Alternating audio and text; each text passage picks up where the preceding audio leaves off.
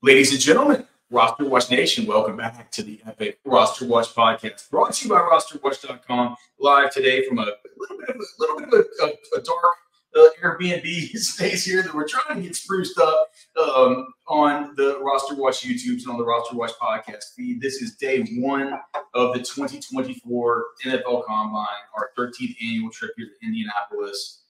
It looks like Indy's going to be the combine destination of one more year? Is it two more years? So this year and next year, 2024. Yeah. Then after that, who knows? But as of now, It needs to be back. It needs to be back. as of now, we still know where we're going and what the hell we're doing and everything like that. Um, in the future, things could change. We could be having to be doing a bunch more running around and stuff than we even done today, where my Apple Watch is going nuts and saying I've set a new steps record and all the rest.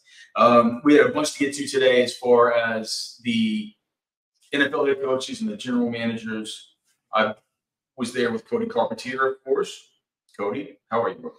Doing fantastic. Uh, got a good day of, you know, we turned off the prospect mind for the day and it was focused on fantasy football, is focused on, you know, I asked some draft questions, some team building questions, and really communicating with these GMs and coaches and finding about finding out about where their brains are at instead of, you know, where we've been the last couple of weeks and months talking about prospects. And we're talking fantasy, we're talking NFL, we're talking you know, bad teams getting better, maybe bad players in better roles. Yeah, and, and so and you some of these things we're gonna go over. So we'll, we'll just go kind of team by team here, and we'll um, look to give people maybe set the scene a little bit, Cody. So on this Tuesday at the combine, what happens is you have all the GMs, all the head coaches come through. Then on Wednesday, when the prospects start to come in, I believe tomorrow the prospects will be defensive line, maybe some linebackers in the afternoon, and in between those guys, all the stragglers who didn't come through today, uh, who were the head coaches and the GMs, they'll have their availabilities tomorrow. But most of it got done today.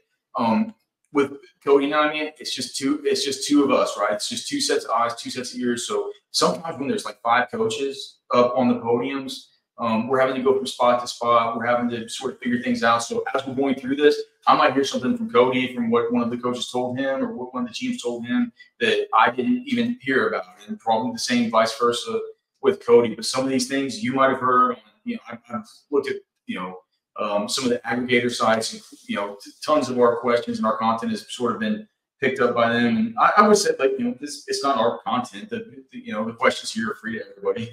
So, but uh, a lot of the fantasy related questions we're due to your boys here at Roster Watch, uh, getting our getting our stuff done. So, with that being said, let's just go ahead and dive in. Start, I guess, out with the Packers here with uh, Gutekunst, the GM. Um, did you just laugh at my pronunciation? what? Gu- Gutekunst? I think it's right. What is it? Gutenkunst. Gutenkunst. Gutekunst. Okay. well, You're good. Let's get into it. Let's get into it. What, what did Gutenkunst have to say?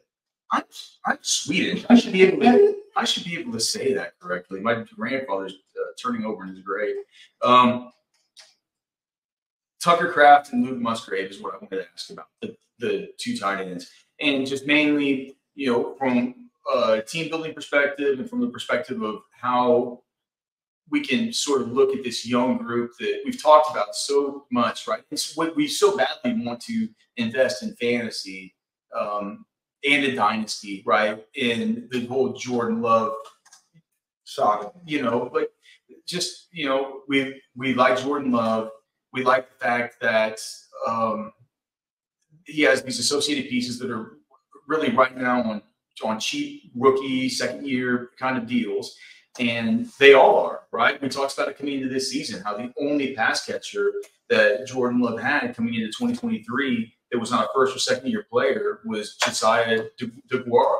Everybody else was either a rookie or a second year player. Uh, a bunch of good young talent there, and when they when they double tap tight end with Luke Musgrave and with Tucker Kraft, we're like, man, they kind of it, it's just sort of like Two you know, guys. yeah, it, well, it just felt like it kind of took a piece off the board at tight end because these guys are going to cancel themselves out and all the rest. But then what happened was through the course of the season, Luke Musgrave comes in. He's a, he's a good part of the offense, startable player in fantasy. He gets hurt. Tucker Kraft comes in. I mean, maybe he has more highlight kind of plays with his athleticism. Um, and I just my question was, are these two guys redundant? Like, do you know? Can they be on the field at the same time? Like, how do you how do you guys view them? And um, is it going to be something where one of these guys has to come off the football field for the other one to play? And what he said was that, you know, he just basically said that platitudes about tight ends, all the rest of it. I think the most important thing was he, he said at the end, he said it's it's going to be really fun to see those guys on the field at the same time next year. Yeah. And so that to me means I'll be I'll be curious to ask you because I immediately went back up to the media room after that and just looked up Jayden Reed, his slot rate last year, because I knew it was sky high, right?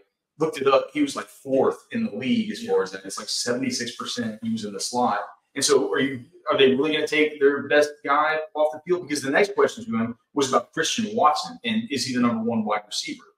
Um, and to that he gave the same answer that some of these other guys gave about number one wide. Uh, I don't want to label him like that. I don't want to talk about it like that. I don't want to do any of this stuff you know that Christian Watson plays outside. You know that Wicks plays outside. You know that Romeo Doubs plays outside. If they're going to be at 12 personnel, what is what exactly does that mean for Jayden Reed? And to me, I think it's like, man, it feels like a little bit of a bummer that we're to have such a murky situation with these dudes. The projections are going to be hard preseason. Well, you, the thing is, is he brings up that conversation, two tight ends, whilst you know what you just brought up about Jay Reed in the slot, and the growth and maturation that we saw from Dontayvion Wicks towards the end of the season, and the guy you asked Christian Watson. So that's five dudes. And not to mention Bo Melton was good. Yeah, but I mean, let's be honest, that conversation right now, like the conversation is, is more about like how they're gonna, you know, deploy this offense. Are they really gonna look good? Three wide receivers and two tights at the same time? No, like they just can't. They can't. You physically you physically can't. And then you're forgetting Aaron Jones is still on the roster. If you go empty, you can't. But exactly, Aaron Jones is still on the roster. Right But you're not going to do that. So, you know, it, it, will be interesting to kind of look, you know, as we get closer to the season and take this note and carry it into like our projections and visualize what it potentially looks like. Um, you know, if they do run too tight, is it going to be swapping of Wicks and Watson? Is it going to be, you know, Reed comes off the field, there's no slot. It's, you can't take Reed off the field. That's what I'm saying. You yeah. So it's just, it was, a, this can be an interesting thing to follow. It just makes this thing more murky. Like I said, unfortunate for us that want to invest in fantasy as far as Jordan Love's associated pieces. Honestly, it makes maybe Jordan Love becomes a guy you say like like more valuable than saying like, well, I don't know where he's going to come from. I don't know who I'm going to stack him with as far as if I'm trying to stack in dynasty or in redraft. But whatever you have love, you realize, well, whether it's Kraft out there, whether it's Musgrave, whether it's Jayden Reed, whether it's Dobbs, whether it's Wicks, whether it's any of the rest of these dudes, right? Um, he he'll be able to eat up all of those fantasy points. Next, you talked to Dan Campbell, and for the second year in a row, you brought up Jameson Williams. Yeah. And last year, one of our takeaways was that it was going to be you know, a, a, bigger year than was his rookie season, of course, because he was dealing with an injury. Well, he said last year it feels like you got a, it feels like you got a, a bonus first round pick. Yeah, and, and, and, it looked like you know he, he, started to come on as the season got on. But what did he have to say today? Because I missed this one. Okay, so what he said was that um, so he said that yeah he progressed and when he was able to come back off suspension, all we asked him was uh, for growth. He just got better and better and just become one of the guys. They, they, they wanted him to feel Man, I don't think that Jameson Williams, they ever thought that he felt like he was just one of the dudes on that team. And, and look, away from it. He hasn't been in the minutia.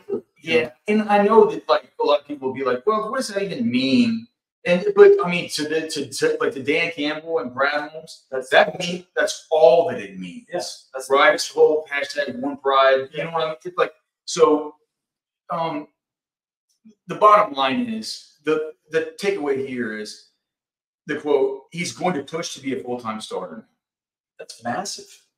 Well, I think I think when you hear that in year three for a guy you took it what twelve overall or whatever it was, like you know that you're basically saying he's pushing to be a full time starter now. You're talking about a guy that's on the precipice of becoming a big time bust. But also, like you can, you can compare that situation to kind of what we're seeing with Treylon Burks, right? He's in and he's you know on that on that custom talk about him later. But why I'm bringing that up is because you just talked about it, where he's you know he hasn't really felt like he's a part of the team per se. Because remember that rookie year, he's coming off the ACL and he was you know off the field working out. Which when you're when you're training, when you're doing rehab and stuff, you're not really with the team. And then this year with suspension, you can't be with the team when you're suspended. So this will be as long as he doesn't get suspended or hurt again. This will be his first full off season and first full like into the season where he's with the team every day, taking part in every single practice, every single mini camp, every single opportunity to build and grow. And that receiver two role is right there. Yeah. So to, to be in every to you know to be an every down starter is what they're saying. That's what he's. They're they're they're they're telling us at least now he feels like he's part of it. It's just so wild to me that you got like that would get integrated in with the team to start to where it, it feels it feels like they're just now saying, all right, now he can now he can start his journey with the Lions. We're talking about a good is so wild in the position the Lions are in. Yep, for sure. All right, next up. Uh, next up, the Chargers. I talked to the new general manager, Hort, Hortz, Hortz, Ortiz. Ortiz. Yeah. Not not Ian Hartis. Uh, Horted. Ortiz. Ortiz. Ortiz. There we go. I got it. I got it. I got it. I asked him with the departure of Austin Ekeler, um, what the running back running back room looks like uh, with guys like Isaiah Spiller uh, amongst them. And basically, what he said was, you know, Austin Ekeler's finally getting to test for agency, and that's you know good on his end. We're going to have conversations with him. But as far as anybody on this roster, it's an opportunity for them to all grow in their role. And he basically just kept on going on. And everybody that's currently on this roster, there's going to be tons of opportunities. And in the back of my head, I didn't want to double take this question because normally you only get time for maybe one, maybe two. And I didn't want to double down into it. But my thought process while he was saying opportunity, anybody on the roster is going to get opportunity. You know, you got, you get all this time to make opportunity. Like, I'm thinking to myself, what opportunity do they have to impress you between now and the draft? They don't. They have no opportunity. In, in realistic, what they going to do? This is a real question for you. What do you think the opportunity is for Isaiah Spiller between now and April 26th to earn um, the opportunity to be the one? And the reason I say April 26th is because so stay in the building, stay in the building, just live in it, live in it. I guess you got to do it. You got to live it. Say, man, like just say, man. Order for, for, for Hortons. Just uh, Hort, Ortiz. Ortiz. yeah. So, man, Isaiah Spiller look, he's a dude who I am. Um, Don't say it. The ship has sailed on Isaiah Spiller. No, he, he's a guy that in the leagues where I have him in the deep dynasty. Some, do some of these 14 team dynasty leagues we play in. You got it. You got to roster these dudes, right? You would have said a lot of people would have said that the ship would have had sailed on like Kyren Williams and stuff. Like some of these guys, you, it's that's one that's 100 percent true, dude. And so some of these dudes, you just kind of have to see. Isaiah Spiller was there during a time playing with players that have turned out to be really good, like Achane, and we have Ainias Smith in this class, and all the you know Texas A&M dudes. And Spiller at one point in time was in kind of an outfit in, in that group. So um, Spiller for sure. Like, would you rather? Would you rather have in Dynasty Isaiah Spiller or a fourth round rookie pick? Fourth round rookie pick. Not me. Yes. Are you kidding? Yes. Why? So you get like Dylan Laube or something like this? You can you can you, you can get a lot of running backs in the, in the okay. Uh, oh right, in a in a fourth round non super flex rookie draft. Sure. Okay. Sure. Sure. Yeah. So, but, we'll, but we're we're trying to gauge value, right? That's kind sure. of maybe take a shot on Spiller. Just sure. just just I don't hate it. Right? I don't hate it. Um, you talk about another running, but this guy's a little bit better than Isaiah Spiller. Tyjae Spears. So uh, talked to Ran Carthon, the GM for the Titans, about Tyjae Spears, and you know. Who, who knows with Derrick Henry? They talked about how important Tennessee is to him, how important the Titans are to Derrick Henry, all the rest of it. We don't know what's going to happen. It Feels like to me that they're definitely it, it, it feels like the time's gotten stale, yeah. right? I mean, new coaches, you know, new things feel like they need to maybe start a little bit anew with the Will Levis era, and this is not the deep Hember um, era anymore. Um, so with Ran Carthon, he talks a lot about the team being built with the right kinds of players, and he talks about this all the time. And whenever he talks about it, when he when he talks about Spears, he just said he's a guy that we you know, he's very passionate about football. He loves the game. He's a hard worker. I think you guys have gotten to know him. That's how he's wired. That's what I love about him. He's one of those guys that's always in the building. You know, there were a lot of concerns about his knee coming out. And that's the thing about his knee, right? Because Rap Sheet reported in May of last year that it was not only cartilage loss in the one knee that and we told you guys on this in the Senior Bowl, he's got a gnarly knee scar.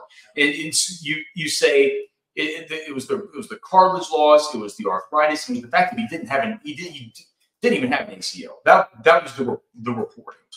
And what I remember being his, I believe his right, right, right.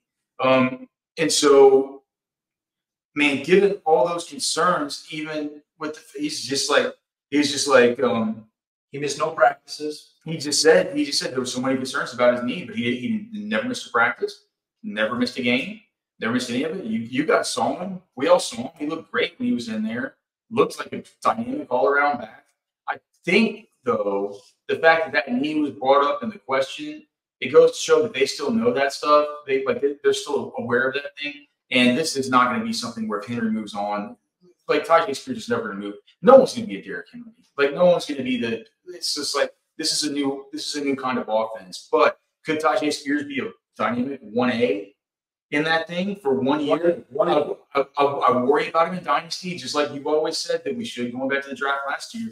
But I think in redraft, man, Tyjae Spears, and I don't have the uh, best ball cheat sheet pulled up right now, but I believe he's going what seventh round, something like that. And it's been going up too. Yeah, it could be, you know, just something interesting to watch there. We're big Tyjae Spears fans. It's just that, you know, the, the knee stuff was uh, troublesome.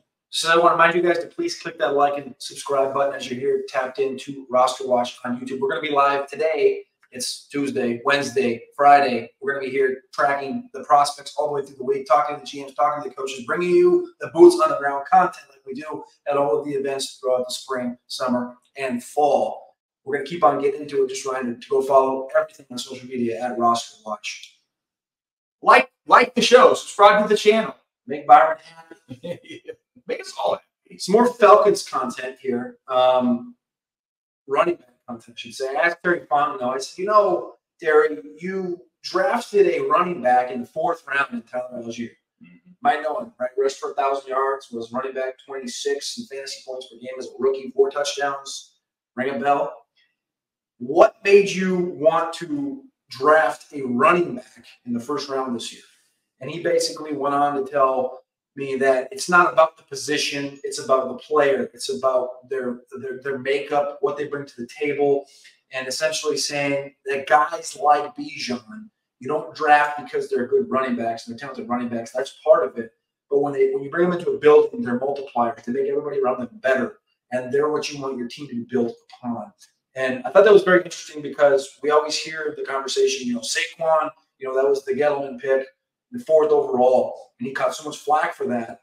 And you never really heard him talk about it from this. And I'm not saying Saquon's not a multiplier, team builder, et cetera, et cetera. But, you know, the conversation was had right here of the importance of the pick and why they made it. And now the Falcons have spent three consecutive years, you know, top 10 picks, eight, eight, and eight, eight, six, or eight, eight, four, whatever it was, top on these fuel guys. And I was addressing and said, why? Why? Yeah. And he basically just went into it saying it was culture. I don't, think, I, don't, I don't think Fawn goes long for that job, man. Um, but look, I can talk all day about Bijan Robinson. And I'm like, yes, you need him. You're like, oh gosh, we want him on the team. Yeah. But it's, it's like the guy's got a heart goal. He's got a, a, a smile that'll melt the room. And um, he's an awesome player. And people close to the team have told us that to expect a much bigger role out of him next year, especially uh, with them not having the advantage of knowing who the quarterback's going to be. Yeah. You, right. So I, I, we'll have to see with the quarterback. But with the new coaching staff that's coming in, we've talked about this often about um, uh, as far as as far as you know from an offensive coordinator standpoint, what he's been able to see during you know time with time with the Rams. They they they they generally tend to lean on one running back and give him the work, give him the touches, let him be an all around guy. So that's kind of the narrative that's percolating around some of the Atlanta people here around Indy that Bijan should be in for a bigger season, regardless of who they get as a signal caller.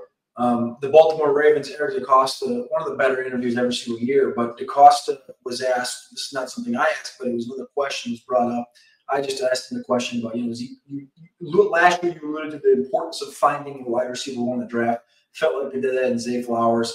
And talk about how important it is to continue to add to this room. He kind of said, you know, the wide receiver room is something you want to continually add depth to because these guys are built like race cars and race cars break down and these players break down. So I think that's going to be a position to continue to target. He mentioned Odell Beckham. That's a conversation that needs to be had. But in a different question that was asked, um, how you look at these young guys and how they're growing. And Flowers and Mitchell is exactly how we asked it. His response to what do you think about the growth of these young guys in Flowers and Mitchell was I'm most excited about the growth. Sorry, this was actually Harbaugh's. I'm most excited about the growth of Rashod Bateman. Oh yeah, and Bateman's going to have an, ex- an, expanded role this year. Bateman's going to get more opportunities. I want to see. Do you buy it? I don't know. Yeah, he came up. He came up. It was like oh, like it was like the question was like Mitchell and Flowers. What do you think? And he's like Bateman. Like it was like what? Right. No, yeah, no, it was it was like it, it felt like a complete like non non non sequitur. It's just like he just came out. You weren't asking about. It. No, nobody asked but he, but he was he is he associates Bateman as one of the young players on the team, and he's expected, which is a good thing. So yeah, I think that that's cool. Um, the other thing I just wanted to mention about the Ravens is that while this wasn't said every context clue that you could possibly get from the body language and from the things that were said and things that weren't said is that J.K. Dobbins doesn't seem to be a part of the picture. They brought him up a few times. I mean, it just doesn't. It, to me, it doesn't. Yeah. Like, did you hear anything to where they said they just said they? The one thing I did hear from I can't think it was Harbaugh was he's like, yeah, we're looking, we love Keaton, we're looking for Gus to get back healthy, and then you know J.K. is floating out there as well. Yeah. And it's like float. I was like floating out there. What do you mean floating out there? You, you and and then and then you have and then, and then you have DeCosta saying that Justice Hill was like the secret weapon of the team this year, right? Talking about how he was one of the like this magical creature that the team like. So who knows? Doesn't it, it doesn't feel like Jake? To, uh, it doesn't feel like he's gonna do that. Yeah, and do you know what, man? He could be one of these guys you go pick up cheap. Like I'm, I'm interested in going and do you, do you think the price tag checks on on J.K. Dobbins? Do you think there's a couple years left, or do you think he's potentially in line for like a, a, a Lev Bell, Todd Gurley type of just kind of like a disappearance? I know, and I want to like I mean, wish cast on anybody because because he's dealing with an Achilles. I, I, think the price is cheap enough right now. Dude, he's, he's been good. Yeah.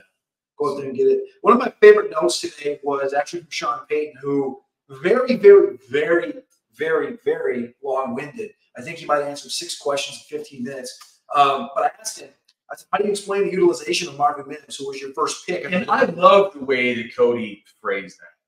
Cody was demanding that Sean Payton explain himself. Explain your utilization because everybody on Twitter, you know, everybody on Twitter was absolutely pissed at the utilization of Marvin Mims because the first pick Sean Payton ever spent, a wide receiver, and it was horrible. And I said, how do you compare him to Brandin Cooks, Kenny Stills, which were his first two wide receiver picks back to back years um, for the Broncos? And he basically said, you know, without that comparison, we really loved what Mims brought to the table as a returner. And in, and I quote, I really think the only thing that really stopped his progress as a receiver was us and trying to find new roles. But every time we gave him an opportunity, he made the most of it. So we're looking forward to expanding that role this year. The only thing that stopped him was was him. He said Russ. us. Russ. Us. No, I don't know. It's like uh, the whole Marvin Mims thing. I like. I feel like with that, you know, that's a kind of uh, once bitten, twice shy thing for me. They're definitely in the as far as redraft. I think the dynasty is still a fine hole, and, and these are all really good. These are all really good signs that, like Sean Payton saying, that, yeah, man, that's a kind of like we messed that up. Yeah, um, but as far as anything, like I was like I was telling Cody today, um, it was just really cemented with me today. I don't know why it hadn't become like completely cemented before, but there's it's an absolute like like lock and it's a truth that there's no reconciling anything with Russ Wilson and, and with this them working with this team. I mean, they they just, they're just they're talking about him like he's in the past tense, and the media is asking about what can you do, asking George Paton what can you do to trade up to get to number one? And George Paton's like, look, we don't have the draft cap. We get from 12 to 1. you know, obviously he that that means that he's done he's, he's, he's done his price check. which is good. Well, you should. Not a Like, big, not a big Peyton fan myself, but just like you guys in Dynasty, man, you should be constantly doing price checks on guys, just kind of seeing. And that's your job as a GM. You sit there all day. You got to pull up other GMs. You got to figure out how, how they value you and how they value picks. And so they've obviously looked, looked into that. Speaking of that, as far as that first pick, as far as oh, you want to talk about? So I saw the Bears, but the, Buccaneers, right? the Bucks is a small one. I just asked how you analyze the wide receiver room and the growth of Trey Palmer this year. The dog, Trey Palmer, the number of. Uh, dog last year. He said obviously Trey's very fast, but I think a big thing he said he learned multiple positions for us, which obviously the rookie is tough, as he mentions. But as you guys know, learning those positions as a rookie, like we talk about special teams and the importance of being able to be good at special teams as a rookie to get on the field. If you can pick up multiple positions, especially when you're in a room with Godwin and Evans Mm-hmm. and things alike, Yep. that's a good way to get on the field because opportunities will open up. Evans might miss a couple plays, Godwin might miss a couple games, whatever it may be. And he said that that was big for Palmer. He also, I brought up Palmer, he brought up Rakim Jarrett from Maryland, who's a pretty good slot receiver. So, Part of that part of that three pack from last year. Yep. Yep. yep. Those three Maryland guys. Yep. Yeah. So anyway, I just thought that was interesting. So you know, if, if you are, you know, I don't, I don't know if there's any Rakim Jarrett tutors out there, but I know he's free in Dynasty if you're in those deep leagues. Have at it. He did mention it. Mike Evans leaves or departs. Trey Palmer moves up, as does Mr. Rakim Jarrett. The other one in that offense uh, was Sean Tucker. I asked about uh, what kind of what can you expect in that role. He said it was you know similar to J- Jameson Williams coming in as a rookie.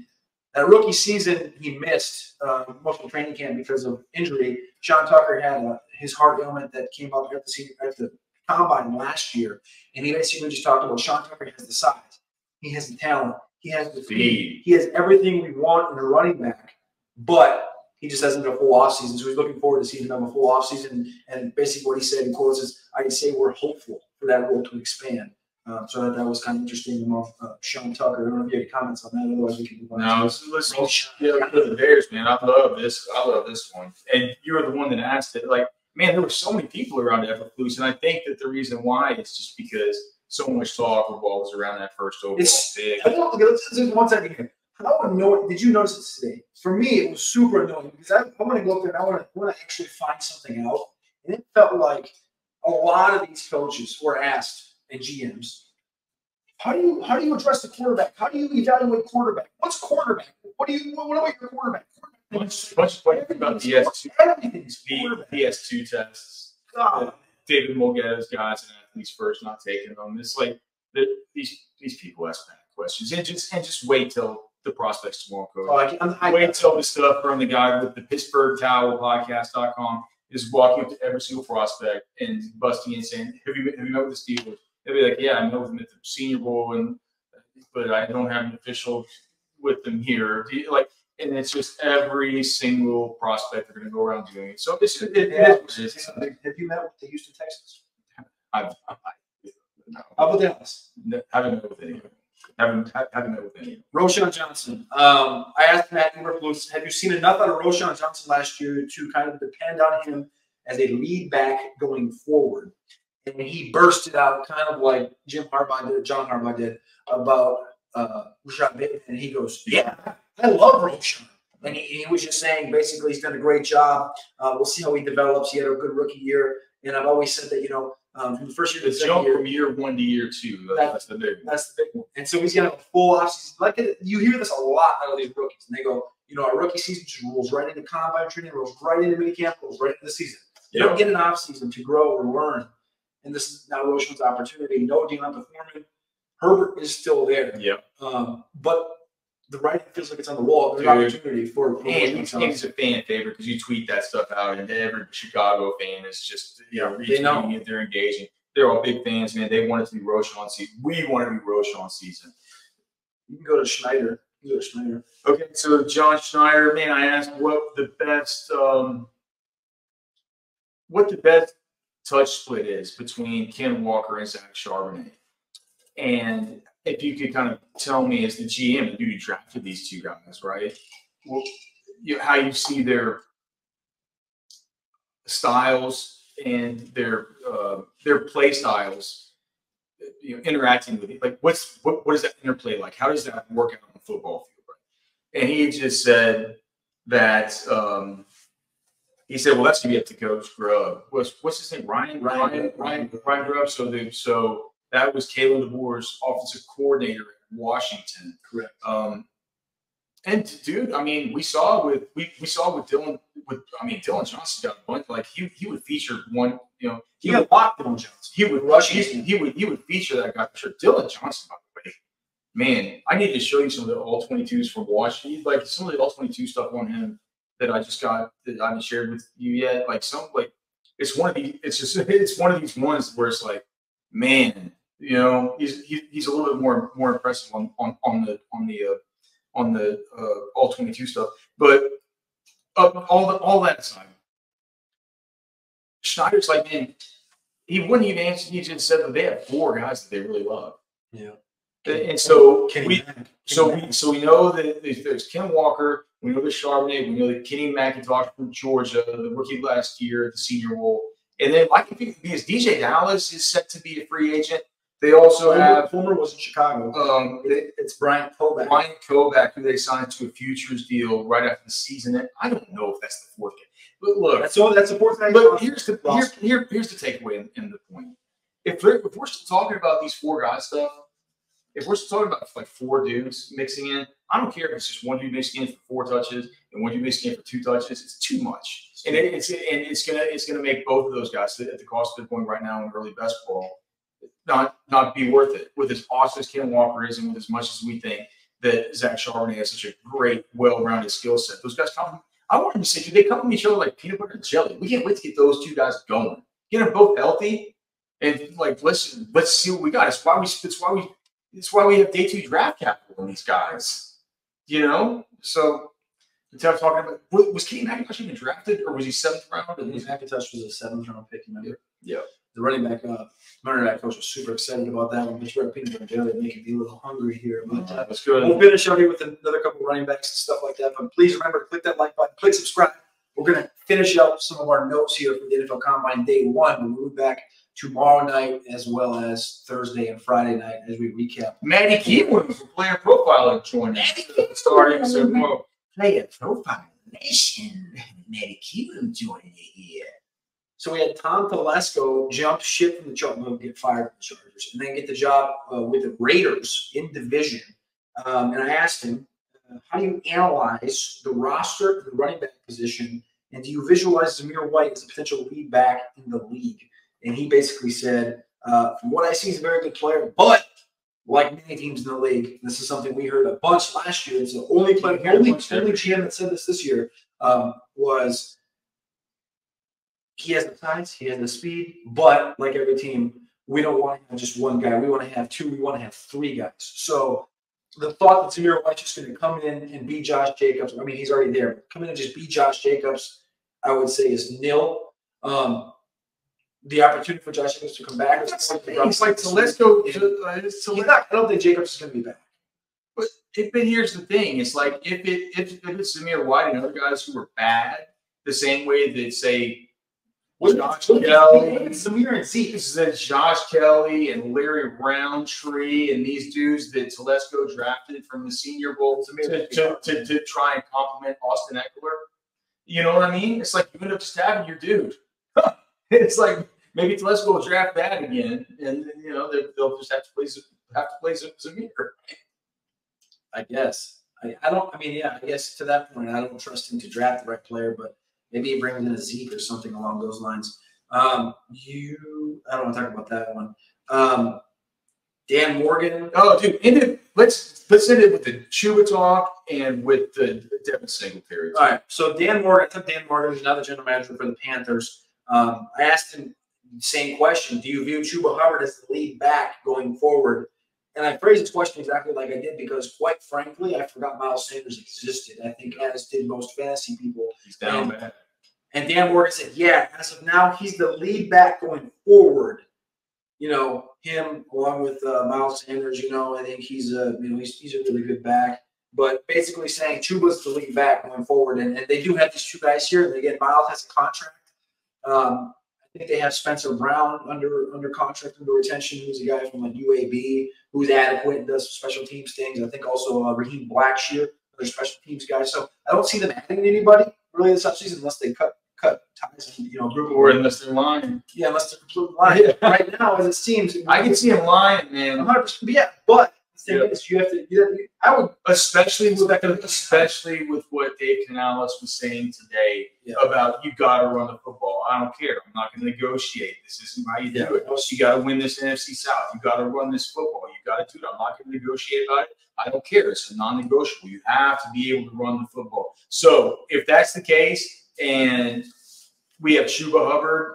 Because look, Miles Sanders at this point, I was telling Cody he's the worst back in the league besides Tank, Tank Bigsby, which Cody took took uh, which Cody took uh, what, what, exception to. Um, but if it is Chuba and he dodges all the bullets like like Neo in the Matrix that I was talking about, Canales is going to run. He's like he is. He's going to run. Uh, speaking of running, we'll just stop it here with DeMeco Ryans. Dude, this guy loves Devin Singletary. You asked me about Devin Singletary, like, or I asked about Devin Singletary, and his face just lit up. And he said, like, yeah, it's like we were so pleased with Devin. Um, I, I just want to like, are you interested in bringing him back? He looked like a new guy, right? He looked like a new guy with the Texans. And he said, you know, we'll see what happens in free agency. We would love to have him back just because uh, what he brought to our team, he was definitely a real the the bright spot for us in our running back room, which might say something about Dameon Pierce. Um, but I do think in situations like this, if it isn't like Devin Singletary is going to go out onto the free agent market based on what he's done for his entire career and command some kind of huge, uh, you know, some huge deal where they have to go back and forth. I don't think the Texans are interested in kind of doing that over Devin Singletary, right?